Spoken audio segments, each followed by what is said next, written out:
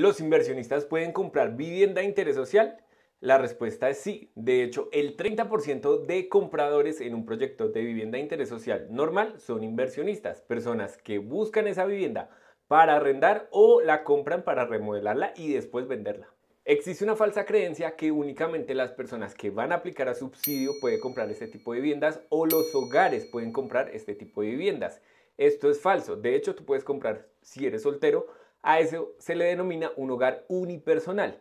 Y también si tus ingresos superan el tope de aplicación a subsidios, no pasa nada porque también puedes comprar. Inclusive si tú eres colombiano residente en el exterior ganando en dólares o en euros, puedes comprar este tipo de viviendas. Y para tu perfil, por el cambio de divisas, van a ser las viviendas nuevas más económicas que encuentres en el mercado. Sé que me van a preguntar que si soy inversionista y aplico a subsidios, ¿pasa algo?